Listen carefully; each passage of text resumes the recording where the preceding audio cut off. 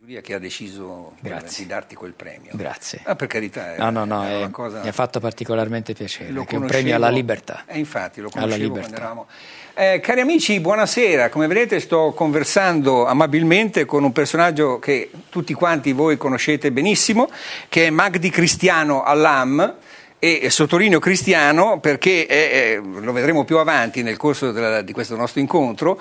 e Cristiano è un nome acquisito di recente. Certo.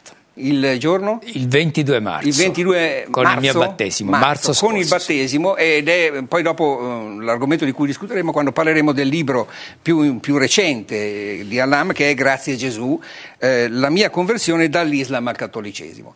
Ecco, io eh, di Allam vorrei sottolineare per cominciare un aspetto eh, molto particolare perché io ogni volta che ne sento parlare, perché qualcuno mi riferisce dei suoi spostamenti o in questa occasione quando lo vedo, mi rendo conto di quanto sia difficile la sua vita, perché deve vivere una vita da eh, sorvegliato speciale.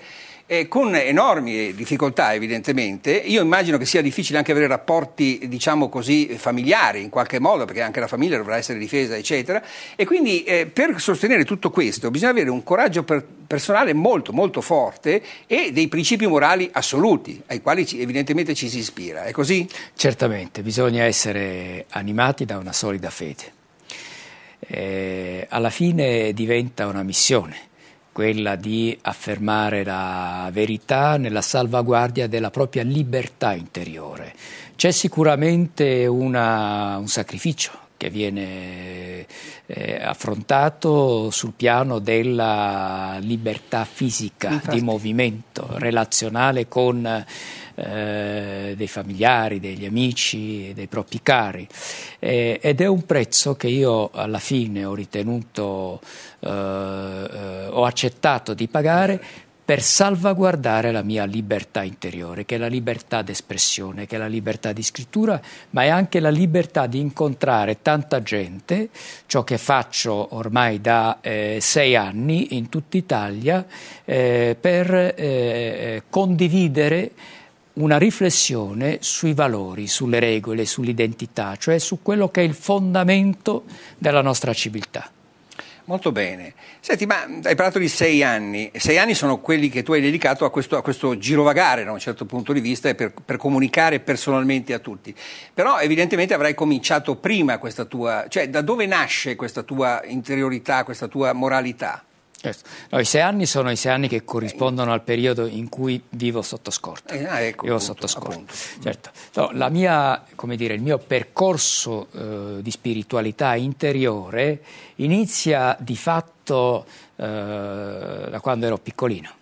Eh, all'età di quattro anni, per uno di quei casi che poi, proprio per il fatto che cambiano tutto il corso dell'esistenza, eh, eh, eh, nascondono eh, la mano della provvidenza divina. E fu quando io ebbi l'opportunità di cominciare a studiare e a vivere in delle scuole italiane cattoliche al Cairo, la mia città natale, prima dalle suore comboniane e poi dai religiosi salesiani. Salesiani. salesiani. E quello fu l'inizio di un incontro con tanti autentici testimoni di fede cristiana, delle religiose, dei religiosi che, eh, eh, eh, eh, avendo votato la loro vita per la fede in Gesù e manifestando questa fede con delle opere buone, mi hanno affascinato e mi hanno eh, convinto della bontà della religione cristiana. È giusto che così sia, stavo riflettendo mentre tu parlavi, perché evidentemente è quasi sempre qualcosa che ci capita nella più, più giovane età, che, che ci dà poi la, la- la spinta verso qualcosa che poi sarà il resto della nostra vita. Ecco, non, non è quello che, vo- che- che- vorrei che fosse chiaro, non è stata una folgorazione, è stato un percorso graduale, lento. Io ho 56 anni, Certo. quindi mi sono Hai convertito... impiegato, hai impiegato più di 50 anni quindi Eh, per, eh, per- per eh, esatto. arrivare alla, Eh, eh, esatto. alla conversione. E questo, diciamo, a me rassicura perché significa che è una spiritualità che ha delle radici solide.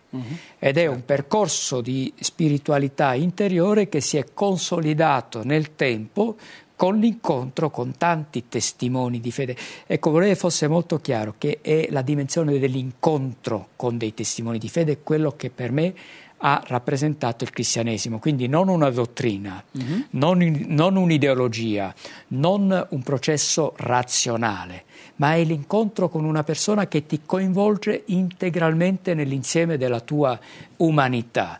E c'è stato recentemente, quindi nella fase matura di questo processo, un incontro particolare, quello con il Santo Padre, il Papa Benedetto certo. XVI, che è stato quello che più di altri mi ha illuminato e mi ha fatto comprendere che quella spiritualità interiore corrispondeva pienamente alla fede cristiana. E questo mi fa venire, scusa, salto un po' avanti diciamo, nel discorso, poi magari torniamo indietro, però mi, mi, viene in mente il momento in cui tu ti sei incontrato pubblicamente in televisione con il Santo Padre, è stato un momento veramente eccezionale, secondo me c'era una partecipazione veramente molto molto profonda. È stato, io l'ho definito il giorno più bello della mia vita, è stato il eh, regalo eh, più bello che la vita potesse riservarmi il ricevere i sacramenti di iniziazione al cristianesimo, il battesimo, la cresima e l'Eucaristia direttamente dalle certo. mani del, del Santo Padre. Sono state tre ore straordinarie, quelle trascorse all'interno della Basilica certo, di San Pietro nella notte della veglia pasquale lo scorso 22 marzo ed è, eh, eh, io ho voluto proprio eh, raccontare eh, questa grande gioia nel mio libro, Grazie eh, Gesù, perché restasse un documento che illustrasse bene sia la gioia della grazia nella fede cristiana, sia anche quello che è il, eh, il racconto del percorso di spiritualità interiore che da un lato è segnato dall'incontro con i testimoni di fede, sì. dall'altro da quello che è stato un rapporto problematico e poi man mano sempre più conflittuale con l'Islam, eh, la mia religione. Certamente, parleremo naturalmente anche dell'Islam. Eh, però, eh, hai parlato naturalmente del, del, tuo libro, ne hai scritti altri, li abbiamo qui davanti a noi, siccome qui stiamo, siamo in un ambiente in cui dovremmo parlare soprattutto di libri, eh, ti chiedo, mm, eh, tu sei eh, tra i pochi, bisogna dirlo, visto il numero delle copie che vengono vendute dei tuoi libri, che possono in qualche modo confermare che ancora oggi, malgrado tutta la concorrenza che può avere la scrittura e possono avere i libri, scrivere consente ancora di arrivare a tutti. Cioè, questo eh, credo che tu l'abbia verificato, lo fai anche girando e parlando e così via, ma il libro però credo che sia lo strumento fondamentale insieme ai tuoi articoli. Sì, direi che è uno strumento eccezionale è, è, è, il mezzo che ormai da più di sei anni mi ha consentito di raggiungere i cuori, elementi, direi di decine e decine di migliaia di italiani in uh, tutta Italia e questo per me è un grande conforto. È un grande conforto perché tocco con mano nell'incontro reale con queste persone perché si sta insieme nella presentazione del libro, poi le persone vengono invitate a fare delle domande, certo. a interagire, poi c'è un momento di incontro eh, nella firma di dediche personalizzate a quanti lo richiedono eh. eh, ed è un momento in cui diciamo a tu per tu si crea una, una bella intimità. È un grande conforto perché io tocco con mano la voglia di valori veri da parte di tanti eh, italiani ed è un conforto perché significa che c'è la speranza. Senti, di tanti italiani hai detto, non di tutti naturalmente, perché anzi eh, c'è una parte di questo paese che eh, nei confronti delle tue idee, delle idee di, anche di tutte le persone che la pensano come te, che sono veramente tante, ma ce ne sono altri che invece hanno idee completamente diverse. Eh, che rapporti hai con questi? Non so, per esempio anche nel campo del giornalismo, nel, nel tuo passaggio da una testata all'altra, per esempio da Repubblica al Corriere della Sera, come, come si pone da questo punto di vista? Ma io credo che oggi noi dobbiamo tenere conto di un contesto internazionale in cui la crisi di valori e di identità che eh, eh, pesa enormemente eh, eh eh, nella eh, capacità di reggere sul piano della sicurezza, della stabilità e, e sul piano della pace anche mondiale, ci impone di andare avanti in un percorso che è quello di affermazione della verità fondata su fatti oggettivi. Io, come dire, di formazione sono un sociologo, di professione faccio il giornalista e, come dire, sono perennemente alla ricerca dei fatti, dei fatti oggettivi, dei fatti, certo. come dire, senza mistificazione, senza ideologismi. Eh, così come eh, mi pongo sempre la domanda eh, della, eh, eh, eh, della, delle conseguenze di ciò che scrivo, di ciò che dico certo. sul vissuto delle persone. Quindi tendo a fare un giornalismo ed una comunicazione che siano oggettivi e responsabili. A parte ciò, come dire, non mi interessa tutto il resto, non mi interessa. Cioè, io sono un nemico dichiarato della par condicio. Eh, cioè, credo che la par condicio eh. sia uno dei mali principali presenti nel sistema della comunicazione oggi in Italia, perché il ritenere che eh, l'informazione corretta eh, sia il punto di equilibrio tra il tutto e il contrario di tutto porta al risultato che noi rendiamo la gente cretina, cioè non mettiamo la gente nella condizione di arrivare alla verità perché si dà la sensazione che tutto e il contrario di tutto siano la stessa cosa. La stessa cosa. Stessa cosa. Io ritengo siamo in una fase storica invece in cui dobbiamo aiutare la gente a toccare con mano la verità, dando dei fatti oggettivi, ass- rassicurando loro delle nostre buone intenzioni, che significa volere il bene comune e l'interesse generale, e lasciando a ciascuno la libertà di trarre le proprie valutazioni. Bene, io credo che adesso dobbiamo fare una piccola interruzione. È così? La linea alla regia.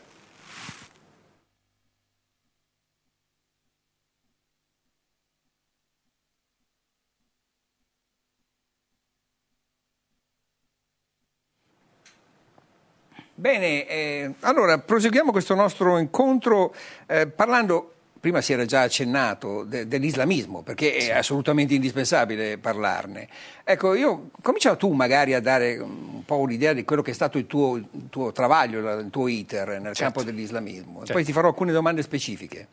Ma io vorrei, come dire, evidenziare due punti brevemente. Il fatto di essere nato da una famiglia musulmana, in un paese a maggioranza islamica, e di aver però frequentato delle scuole cattoliche, sin da piccolo, certo. mi ha eh, eh, eh, eh fatto eh, sin da piccolo porre la domanda quale delle due religioni corrispondesse alla verità. Quindi c'è una domanda implicita di verità che in qualche modo prelude anche alla, alla formazione giornalistica legata a questa condizione eh, relativa al, alla religione. Eh, eh, il secondo punto è che io mi sono veramente speso per tanti anni per far sì che ci potesse essere un Islam moderato. Da certo. musulmano moderato, laico, liberale, ho eh, veramente ricercato un Islam che potesse coniugare fede e ragione.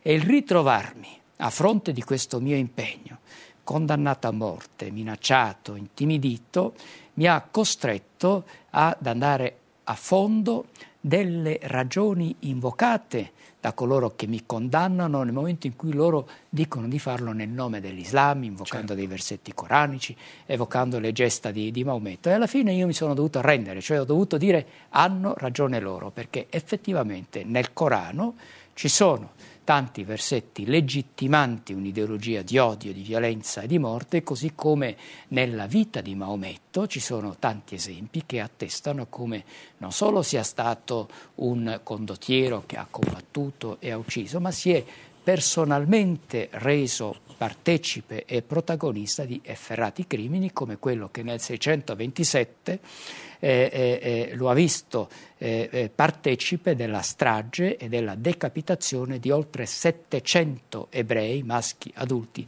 della tribù dei Banu Quraysh. Bene, di fronte a questi fatti che certo. i musulmani non smentiscono, smentiscono, io ho preso atto dell'incompatibilità tra l'Islam e i valori in cui ho sempre creduto e per i quali mi sono sempre battuto. Ecco, senti, questa incompatibilità che tu hai verificato eh, deriva indubbiamente, vabbè, la religione, chiaro, i, le interpretazioni che ne sono state date, di alcuni versetti che sono stati dati, eccetera, ma io ritengo, ma mi devi confortare oppure smentirmi se del caso, che dipenda moltissimo, perché lo vedo per esempio in te, che eri sicuramente una persona a modo, diciamo, come sei adesso, anche quando eri un, un certo. islamico. Allora lo, io credo che molto dipenda anche dalla educazione che è un po' anche, è chiaro che l'educazione, sull'educazione influisce anche la, la religione, la, la, un po' tutto quanto, ma un'educazione diversa da quella che viene data certo. in genere agli islamici non potrebbe far sì che eh, si potesse arrivare a, qualcosa, a, un rapporto diverso con noi eh, cristiani? Allora, certamente, se noi parliamo di persone, non solo è possibile, eh, ma è una realtà cioè esistono tanti musulmani che sono persone per bene, certo. sono moderati, sono eh, persone con, con, cui dire, si può tranquillamente convivere costruire insieme una comune civiltà dell'uomo. Il problema si pone a livello della religione, della dimensione che riguarda la religione. Ora, eh, l'Islam ha una specificità. L'Islam è la religione del Dio che si fa testo e che si incarta nel Corano. Quindi per i musulmani il Corano è Dio, è un tutt'uno con Dio, non è quindi penetrabile dalla ragione, non può essere, come dire, interpretato con gli strumenti della valutazione e della, della critica. Quindi eh, eh, gli estremisti islamici hanno ragione quando dicono che alla alla base del loro efferato comportamento c'è una legittimazione coranica e c'è una legittimazione legata al comportamento di Maometto. Hanno perfettamente ragione, non è affatto vero che l'estremismo e il terrorismo islamico siano la conseguenza di una interpretazione faziosa e radicale di una minoranza. Mm. È esattamente l'opposto, è la corretta trasposizione di ciò che c'è nella integralità del, del, Corano. Quindi con le persone noi possiamo dialogare, sì. possiamo convivere, eh. ma dobbiamo prendere atto che se il Corano, se l'Islam è il Corano e Maometto, non può essere una religione moderata. Beh, queste sono delle, ti, tu mi apri una prospettiva che insomma è molto preoccupante, perché eh, o, o, non sei d'accordo, vedo che facevi una faccia un po' No, perché noi, noi, noi, conviviamo con le persone, cioè Capisco. tu non ti rapporti con l'Islam come religione. Sì, sì, tu hai a che fare con delle persone. Certo. Quindi non solo, ma tu hai a che fare con delle persone in uno spazio e in un tempo determinato. Cioè noi ora ci troviamo a Como. Quindi a che cosa è che ti interessa a te? A te ti interessa che con i musulmani che stanno a Como nel 2008 tu possa avere una convivenza mm. civile. Questa cosa qui può essere realizzata tranquillamente. Ti devo chiedere una cosa. Eh, è vero che si, che si, può realizzare, però ecco, conforta quest, questa tua presa di posizione, questa tua con, conclusione su questo argomentare, eh, una mia eh, convinzione che è questa, è necessario comunque che a queste persone che vivono tra noi venga fatta imparare la lingua, venga certo. insegnata la lingua. È fondamentale. Fondamentale perché altrimenti non ci si capisce e questo è molto importante. E seconda cosa, è necessario a mio parere che non si faccia l'errore che tu forse non conosci ma che fu compiuto quando ci fu l'immigrazione dei dei meridionali, di ghettizzarli, di metterli certo. tutti quanti insieme. Bisogna certo. invece che siano obbligatoriamente Integrati. in qualche modo divisi, no? Inte- non uno per, per... Integrati. Eh, in modo che ci sia davvero l'integrazione. Certo, vedi, questo presuppone però che dentro ciascuno di noi ci sia la consapevolezza di un modello complessivo di società, di persona, di famiglia, di civiltà al cui interno si definisce un percorso vincolante per tutti quelli che liberamente scelgono di vivere qui per migliorare le loro condizioni Ho di capito. vita. Quindi delle regole, regole. Il problema è che queste regole o non ci sono o se ci sono non vengono fatte rispettare. Bene, allora ci stiamo avviando alla conclusione di questo incontro, ma solo la parte pubblica, perché poi io e Magdi continuiamo, Magdi Cristiano, continuiamo a parlare per conto nostro. Eh, beh, peggio per voi che non saprete di che cosa abbiamo parlato, ecco, rimarrà, rimarrà, un nostro segreto. Eh, mi dicono di mettere in favore di telecamera, ma lo faccio molto volentieri, il libro eh, sul quale poi infine dobbiamo interrogarci per certo. chiudere questo incontro pubblico, e cioè eh, Grazie Gesù è quello che, ti ha, mm, che, che racconta come appunto sei diventato cristiano. Parliamo ancora un poco di questa tua conversione. Sì. Sai, è, stata, eh, eh, è stato il traguardo eh, di un percorso tormentato, complesso che io amo rappresentare come un fiume che cresce man mano con l'apporto di una risorsa vitale da parte di tanti affluenti. affluenti. E l'affluente principale è stato certamente l'incontro con tante persone che eh, eh, indicano un fatto, ecco, forse questo è importante dire. La necessità dei testimoni. Abbiamo bisogno di tanti testimoni, testimoni di fede e testimoni di valori, che siano in grado di recuperare la figura dell'autorità morale che oggi si tende a perdere sempre più in seno alla famiglia, alla scuola, alla società, ai mezzi di comunicazione di massa, alla politica e persino anche all'interno stesso delle istituzioni eh, religiose. Senti, allora per chiudere, mentre ci sfumano, non lo so quanto tempo continuerà questa nostra ripresa, io ti, prima parlavamo e mi hai confessato di aver giocato a calcio ma di non essere tifoso di, di alcuna squadra. Parlami di questa tua... quando giocavi? Quando, quando eri, quando quando eri dai Salesiani? Esatto, quando ero dai Salesiani. Questo è un classico. Eh, esatto. perché, Al centro degli istituti salesiani c'è sempre il campo di calcio. Come no? Il campo come di calcio. Certo. Quindi ho fatto parte per tanti anni della squadra di calcio dei, dei Salesiani, eh, poi però dopo il mio arrivo in Italia a partire dal 72 non giocando più.